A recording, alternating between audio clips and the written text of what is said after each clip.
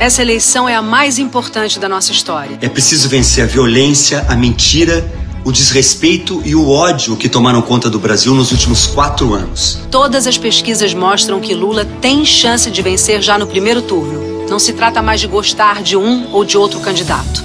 Agora todos nós temos que nos unir para vencer Bolsonaro. Enquanto as armas deles são pistolas e fuzis, a nossa arma é o voto. E nosso voto é Lula.